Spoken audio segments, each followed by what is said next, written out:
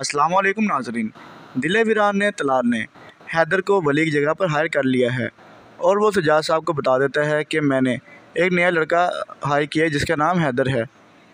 दूसरी जानब जब मिनहल ऑफ़िस में तलाल से मिलने आती है तो वो हैदर को देख के परेशान हो जाती है और कहती है कि तुम वली की सीट पर क्या कर रहे हो? उसी दौरान तलाल आता है और बताता है कि ये मैंने नया लड़का हायर किया है। और हैदर को बताता है कि ये मेरी वाइफ है। अब आप आने वाले एपिसोड में देखेंगे कि मिनहल और हैदर के दरमियान मुलाकातें शुरू हो जाएँगी और इनकी दोबारा से नई मोहब्बत जाग उठेगी। लेकिन मिनहल ये नहीं चाहती कि तलाल को हैदर के बारे में पता चले।